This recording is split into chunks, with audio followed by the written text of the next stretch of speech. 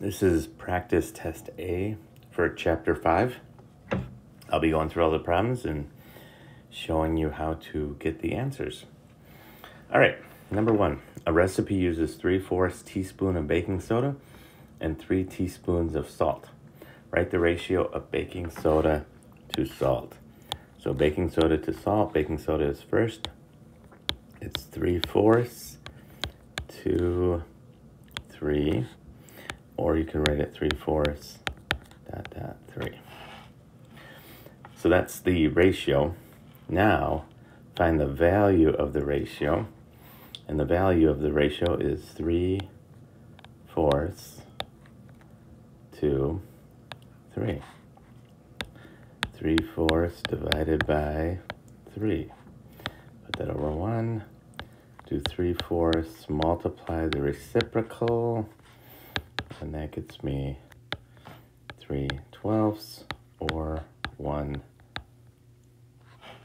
fourth. And so the ratio is there and the value is 1 fourth. Number two, you have to find the missing values. So I know that I'm going to cross multiply um, and I don't know what that is over there. So I do one third times 28, and that gives me 28 thirds. And then I divide it by 2 thirds, which is 28 over 3 multiplied by the reciprocal. I know that's 1 that's 1. So it's 28 over 2, and that equals 14. So right here is 14. Then to find the other one, I'm going to do 1 third, oops, 1 third times 84 gets me 84 thirds. And that is 28. Now I gotta divide 28 by 14, and that gets me 2. A person walks a quarter of a mile. Okay, that'll be mile. And they do that in 1 12th of an hour. What's the person's speed in miles per hour? So I got to get that to 1. So 1 12 times 12 gets me to 1. So 1 fourth times 12 equals 12 fourths or 3. 3 miles per hour.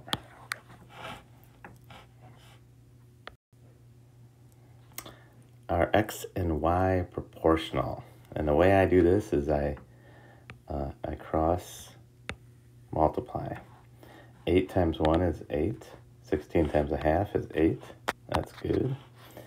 Um, 24 times 2 is 48. 32 times 3 divided by 2 that's 48. So those two are, so they're all, all proportional. So all I have to do is say yes. I'm going to solve this by doing cross multiplication.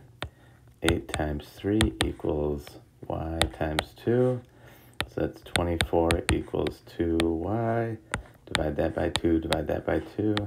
Leaves me with y equals 12. And that's my answer.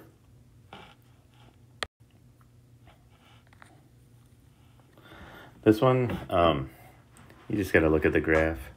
Uh, graph shows the density of a substance. Find the density in grams per milliliter. So if you want grams per milliliter, so per milliliter is one milliliter, which is right here.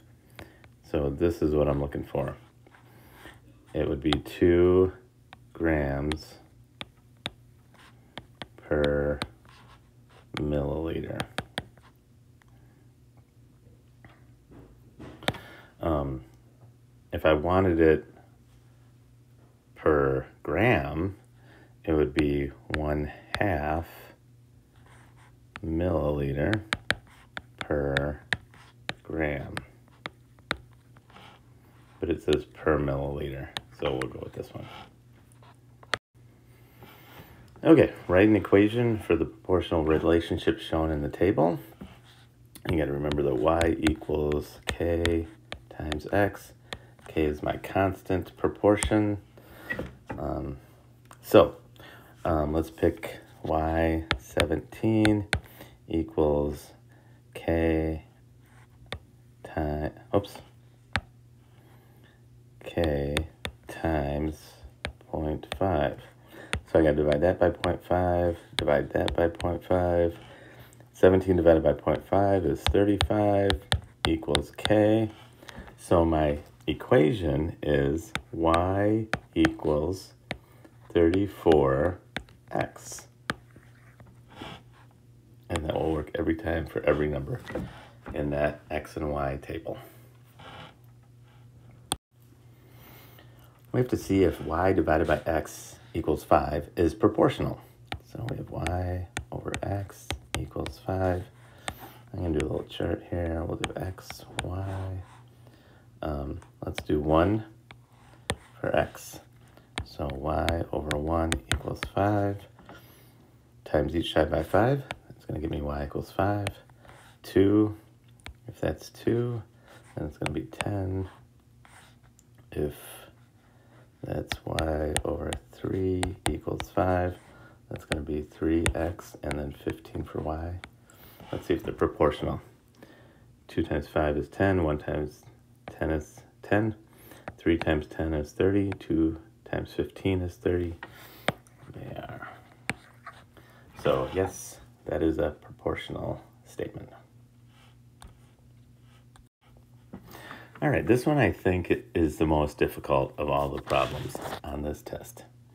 So you have two cars traveling at the same speed in different directions. Well, I'm going to, I have car A and car B. Start them here. Even though they're going in different directions, I'm going to have them going in the same direction. Like that. Um, and it says car A reaches its destination in 17 minutes. So that would be the time. T equals that. The distance equals, we don't know. So we'll just say x. Distance equals x. Now B reaches its destination in 32 minutes. And B travels 12 miles farther. So the D on this part is 12. The D on this part is x which is similar to what car A did, and it's 32, so T equals 32 minutes. So now I know that speed equals distance divided by time. And the speed is the same. So to find the speed, it's going to be distance divided by time equals distance divided by time for this is A and this is B. So A, distance is X over time is 17. And B, distance is X plus the 12 over 32, which is the time. Okay, so now let's do some cross multiplying. 32 times x is 32x and then 17 times this x plus 12, that's going to be 17x plus, and 17 times 12 is 204.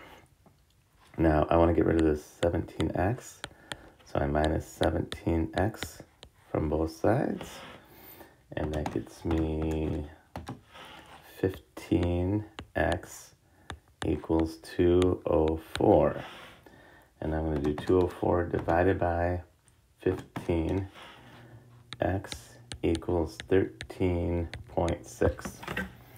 so now the distance, let's make this a little smaller here. Give me some more space. So on this one, now we know the distance of A, for A, distance equals 13.6 and the time equals 17 minutes. Then for B, we have distance equals, um, it'd be 13.6 plus 12, which is 25.6. And the time equals 32 minutes. Okay, now what we have to do is we have to find miles per minute. So I know that we're going thir- uh, okay, let's get rid of that. I'm gonna go over here. Miles and minutes. So for one, it's 13.6 to 17. And for the other one, it's 25.6 to 32. But I want it per minute.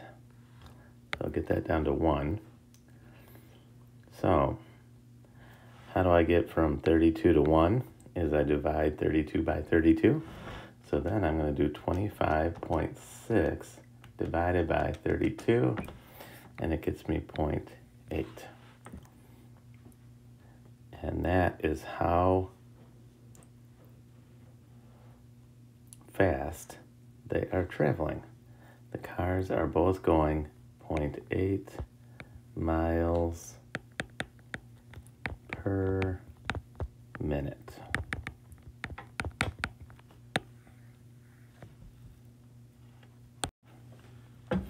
All right, this one, you mix two thirds quart of blue paint. So I have blue, two thirds. And then I have, I mix it with red, which is three fourths. Um, to make four and a quarter quarts of purple paint. Now I know if I add those two together, that total is not going to be four and a fourth. But four and a fourth will go right there. So let's add two thirds plus three fourths. Let's make them both 12. And that is 8 twelves plus uh, 9 twelves, which gives me 17 twelves. So for a total of 17 12s, we're going to get 3 fourths red and 2 thirds blue. Now, it says we want 4 and a quarter. So let's make that, change that to be not 4 and a quarter, but 17 over 4. So now I do my cross multiplication, then divide by the other one. So 17 fourths times 3 fourths, that equals 17 times 3, it's 51 over 16. And then I'm going to divide that by 17 twelfths. But I got to do the reciprocal. 51 over 16 times 12 over 17. Well, I know that 17 goes into 51, so that'll become a 1 that becomes a 3. And I know that 4 goes into these two. 12 divided by 4 is a 3, and 16 divided by 4 is a 4. So 3 times 3 is 9, and 4 times 1 is 4. 9 fourths. That's how much red paint. Now let's get the blue. 9 fourths times 2 thirds equals 18 twelves. And then 18 twelves divided by 3 fourths or times the reciprocal. Um, and I can cross simplify. That becomes a 1. That becomes a 6. That becomes a 1. That becomes a 3. 6 times 1 is 6. 3 times 1 is 3. Or that equals 2. So, how much blue paint and red paint do you use? Use 2 quarts of blue and 9 fourths quarts of red. And for the 9 fourths, I could say 2 and 1 quarter. Um, but that is what we're looking for. All right, number 11. Two triangles have the same base. So if I have a triangle and a triangle, so they have the same base. Um, this is the same as that, but the height is two times that. Now, are the heights and the area of the two triangles proportionate? So I'm just going to pick numbers. Um, so for x, I'm going to make that 4, and y, I'm going to make that about 8. So on this first triangle, it would be a base of 4 with a height of 8. And in this one, same base, but the height is doubled, so it's 16. So let's find the area for each. Area of this one equals 4 times 8, which is 32, divided by 2, which is 16. This one is 4 times 16 divided by 2, which is area of 32. So it wants to see if me if the height, let's see, are the heights and the area of the two triangles proportionate. So the height 8 and the area 16 and then the other one the height is 16 and the area is 32. Now are those proportional? 16 times 16 that gets me 256. 8 times 32, that gets me 256. They are proportional, and yes, the two triangles are proportional, at least the heights and the area. All right, the last one is you're painting four walls. Uh, oops. and my four walls. It's rectangular. It's a 22 by 12. So the area in feet is 22 times 12. So 264 feet squared. And if I have four of those, times that by four, that gets me 1,056 squared feet. Now it says one gallon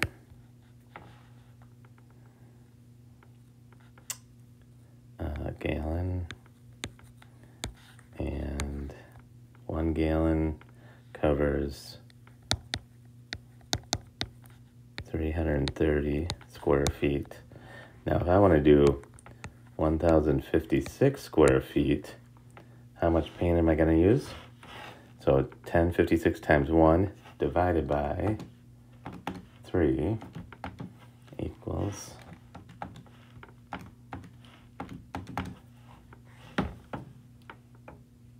not divided by 3, divided by 330. 1056 divided by 330 equals 3.2. Now, if it said I was going to buy paint, I can't buy 0.2 of a gallon, so I would buy 4 gallons. But because it just says how many gallons of paint do you need in order to cover the walls, it's going to be 3.2 gallons.